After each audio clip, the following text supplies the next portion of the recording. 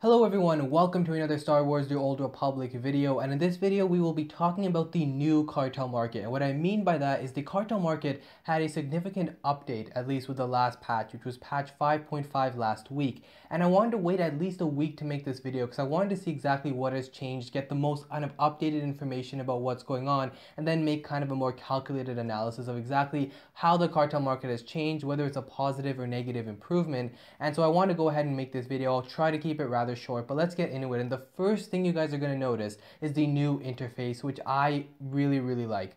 I think it's a lot more organized, a lot more easier to navigate. It also just aesthetically looks a lot nicer. The old cartel market was very, very outdated. And so I'm enjoying it, guys. But what's more important are the items that have hit the cartel market because we have seen a significant, um, let's say, new direction that Bioware is taking with direct purchases. And the first thing that you might have noticed, if you haven't already checked it out, is that we have a plethora of old items that have been reintroduced into the cartel market. So if you go ahead to the old tab, you will notice all of the um, all of the cartel market items. And before we actually get into the old items, let's look at two new items specifically that have hit the cartel market. We have the Shadow Disciples armor set. This is brand new, just got released and updated today. I know a lot of people have been waiting for this. I have checked out the preview in game. It looks absolutely stunning. I love the upper body armor. I love the uh, helmet the best. The belt is very nice the uh, gloves are very nice like I just a lot of this armor set was very nice I think it's going very heavily it's based off of the design of old kind of PvP and PvE armor and to be honest Bioware armor designers were on point back when the game started. A lot of the nicer armor we got way back in the day, nowadays Bioware's and new armor designs have been pretty crappy, but at least the old stuff was good and this one's very much kind of one of those old armor sets that you would have expected with the really earlier shipments. And so I just really love the armor set's design. It's for a decent price of 1440 cartel coins, which is a normal price for a new direct sale armor set. Um, so that is finally in the game. And then the other direct sale we have is the uh, Seasoned Professional. Now this one was an armor set that was data mined a while back. It took Bioware, I guess, a long time to kind of actually put it in the game. Uh, there's nothing too special about this one specifically. The only cool thing I guess you could say is the helmet. It has a visual effect, so when you activate your weapon, that little visor thing will actually come down. Uh, but that's about the only thing. Overall, I'm not exactly sure what this uh, armor set is based off of or why it's even introduced, what's kind of special about it. I'm honestly not sure. It looks a little bit similar to kind of like that clone training armor back uh, from the Clone Wars TV series. I don't know, I think that's kind of a leap. But either way, I would say ignore this direct sale. I mean, like the Shadow Disciples armor set, if anything, is probably something you're going to want to get, whether it's for yourself or selling on the GTN. This one, I would say kind of on the whole, ignore it. But um, I think what's more important are the old uh, items that got reintroduced. So we'll start with the armor sets here guys and I would say actually for the most part ignore a lot of these old armor sets. Most of them, at least 99% of them are extremely overpriced. I would turn your attention to things like the Contractor's armor set here, which is just one of these random old armor sets that Bioware I guess decided to put on the cartel market. It is insanely overpriced. I mean this thing is probably worth 150 cartel coins maybe. Uh, it's, an, it's a pretty cheap armor set available off of the GTN. It's also a very ugly armor set in my opinion. The upper body armor is okay, but I feel as though it's been reskinned to death. The helmet is absolutely atrocious. And uh, a lot of the other armor sets are very similar to this. They're these kind of bronze and silver armor sets that are very old, but they're, they're made available time and time again because they're uh, pretty good drops from Grand Chance Cubes. And so they're constantly reintroduced. They sell for very affordable prices. There was really no need to reintroduce them to the cartel market. And on top of that, Bioware, I guess, has a very hard time kind of adequately pricing their own items. And this is a trend that you can notice time and time again if you're looking for examples, look no further than like some of the regions that they've brought back. And what I mean by uh, this trend is that Bioware doesn't price things in the cartel market according to the in-game economy. And some of you might think that that's fine, like maybe it's kind of a disconnected type thing. But to be honest, I think Bioware should take into account when they put up a certain item, what it's actually selling for on GTNs. Even though items vary across different servers and everything like that, the bottom line is there's kind of a standard, right? Like they put up the regions for like 420 cartel coins. These are regions across servers that are selling for under 100,000 credits. So that is just kind of an insane mismatch between its cartel coin price and what it actually sells for. And the fact of the matter is, if it sells for very affordable prices on the GTN, then like anyone can go and buy it. Why are you duping people out of cartel coins by offering an item? Uh, they're kind of preying on those people who don't know that this item is cheap on the GTN, which I think is kind of a scummy thing to do. Uh, when a certain item is very obviously not worth its cartel coin amount, um, I don't think it should be put up for that price. Of course, feel free to differ with me on, on your opinions on that, but that's just kind of my thing. I see some of these things up on the cartel market and I have a good chuckle at it, but then I feel kind of bad because someone might actually get like go and buy it and then later realize, oh shit, this thing costed basically nothing on the GTN. Why did I waste my cartel coins on this?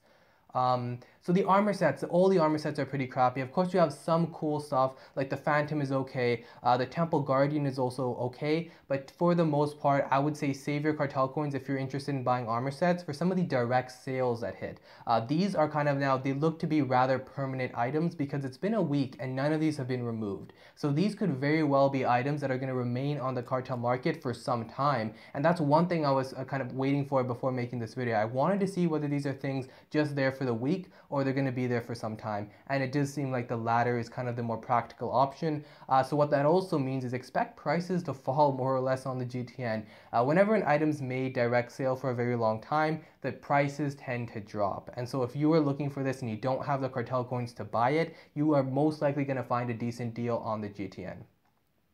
Uh, one of the recent uh, direct sales that we saw was the Primeval Stalker. Uh, a very, very highly kind of uh, popular and desired armor set and interestingly enough it didn't go for the normal price that I would have expected it to go for. Normally when Bioware brings back a really rare old uh, armor set like the Revan Reborn and stuff it costs about 2100 2200 cartel coins. Uh, this one only costs 1400 cartel coins so it was actually a pretty exemplary deal considering the upper body armor itself sells for upward of 35 to 40 million credits on the Harbinger and probably more on other servers. But um, yeah, it was a good deal, and that was obviously gone after the week. And so expect Bioware to kind of bring back more of those direct sales, and it does seem to seem as though they're putting up some of these armor sets for decent prices. So don't go ahead and invest in like the Temple Guardian and stuff. That one's already been done to death. Uh, the prices actually aren't that high on the GTN. I speak from experience. I've sold, I've tried to sell a few of the Temple Guardians helmets and upper body armors, and I've, I've sold them as low as like six to seven mil, and they still don't really sell at that price. You would expect that it would sell pretty quickly, but it doesn't. And so I would stay away from those. What's more exciting are some of the weapons. Now these are some insanely nice old weapon designs. I mean, this was back in the day when Bioware actually put a lot of effort into uh, weapons regardless of whether they were silver, bronze, gold, or platinum. Of course, they didn't have platinum things, but take for example the Cathar Honor Sword. You know, this used to be a silver rarity item. This was never gold, but this is now on the GTN for 500 cartel coins. That is an insanely good price. Uh, I was saying that Bioware 99% of the time doesn't know what to price their items at. This is that 1%. This is when actually Bioware hit it bang on. It's a very decent price, very low. It's an extremely nice item that a lot of people have been wanting and perhaps haven't been able to get it. And so two things here, guys. On one hand, that's like a subscriber's uh, monthly reward. So if you save that up, very easy. You can just grab this item and unlock it for yourselves. But also, it is a pretty decent item to sell on the GTN. And whether you're trying to make credits or whether you're trying to find a good deal on the GTN, both of those situations are most likely going to work out for you. Uh, I've already seen prices drop to like 7, 8 mil on the Harbinger for the Cathar Honor Sword. And um, I would only suspect that it would actually go lower if this remains kind of a permanent sale for some time. And once again, guys, it hasn't been removed yet. So that is something to definitely keep your eye on if you're scouring the GTN searching for some good deals. Uh, some of the other really nice items, we have the Tythonian Force Master, the Zyos Guardian. Uh, those are also very nice sabers, but I wouldn't say they're better than the Cathar Honor Sword. I'd still say the Cathar Honor Sword is both most is both uh, more popular, kind of gonna sell for more, but also it's cheaper. It's like a hundred something cartel coins cheaper than the other ones. Uh, there are also some other weapons like the Black Nebula Blaster, the Range Hunter, um, what's the other one? The TAC HUD and the Max TAC sniper rifles. These are extremely nice designs. Uh, they're pretty expensive considering their prices on the GTN because the fact of the matter is, ever since they reintroduced these direct sales, uh, the prices have dropped pretty low on the GTN. I mean, I would suggest right after watching this video, go ahead, check the GTN and see if you can find a good deal. I have found a Range Hunter blaster pistols for under a million credits. I have found the Devastator's a double-bladed saber for like 500,000 credits. Uh, I've just find some found some amazing deals deals. I was on the Red Eclipse earlier and I saw the TAC HUD sniper rifle, easily one of the nicest sniper rifles in the game, going for like 250,000. Like four people had it up for like 250 to 300,000 credits. So you can probably find some amazing deals on this stuff. And um, I would say, you know, kind of keep your eye out on it. If you remember it at one point, just go quickly run, check the GTN, see if you can find a good deal. I found a few and I've only checked the GTN for a matter of like 10 minutes. But given that you can find some pretty decent deals for these, I would not suggest paying your cartel coins for them. They're also only silver rarity, so it's not like it's gold or platinum or anything. So I would say kind of don't spend your cartel coins, just try to find a good deal. You probably will find a decent deal on the GTN. Um, aside from that, guys, so uh, in other ways that the cartel market has changed, um, command boost is something I really want to talk about. So some one of the new changes they made with the command crates was that it now has a chance of dropping you a superior command boost. Now that is pretty insane. Like that is the 100% command boost and uh, you would think that hey, you know, it's, it's a relatively rare drop so you wouldn't think it would affect the GTN too much but if you went and checked the GTN lately you would see that these things have plummeted in price. Absolutely plummeted. Um, these things used to sell very, very well at 2 to 3 million credits each. Uh, they cost a very hefty 300 cartel coins on the cartel market, or you can buy the uh, 5 pack boost for like 800 or something. And um, they now sell for like 60,000 credits each to 100,000 credits. On the Harbinger, there are tons of deals for 100,000 credits. On the Red Eclipse, it's going for like 60 to 70,000 credits. So you can see it absolutely was destroyed. And I'm not sure whether that is solely due to the fact that now you can get these out of command crates. Uh, I think that played a big role, but also just in general, they were kind of always declining a little bit. And so, um, yeah, they now are basically affordable to everyone and extremely, extremely useful because with the two times CXP that uh, events that Bioware is doing and stuff, you can rack up command crates very easily. So you should basically, if you're farming, even if you're not farming CXP, just always have 100% CXP boost going because it's extremely cheap to have one now. But I think the more important message to get across is this is no longer a decent way to convert your cartel coins to credits. A lot of times when someone asks what's the best way uh, to convert your cartel coins to credits, the kind of generic option was either buy uh, cartel packs and sell it on the GTN or buy command boosts and sell them on the GTN. Uh, now, guys, command boosts are really no longer an option, and so I really hope no one goes and wastes their uh, money because they because they probably had some experience selling these in the past, but they haven't checked the GTN recently and they don't know that this thing has absolutely plummeted in price. So make sure you guys don't go and waste your money. Uh, it is no longer a decent or viable alternative to uh, making credits.